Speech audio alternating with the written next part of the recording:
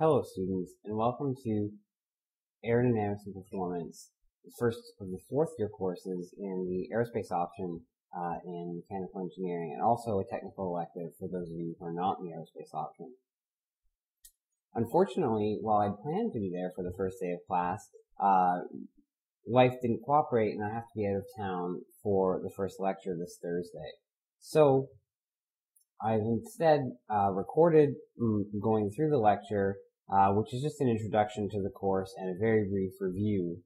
Uh, and then in class, uh, Dr. Gary Rankin will come in and do the in-class activities with you where we'll practice some of the uh, theory that is reviewed in this lecture uh, and during the first tutorial on the afternoon of Thursday, January 8th, you'll have the opportunity to work on some quantitative problems which are related to uh, the same topics that are discussed in the lecture.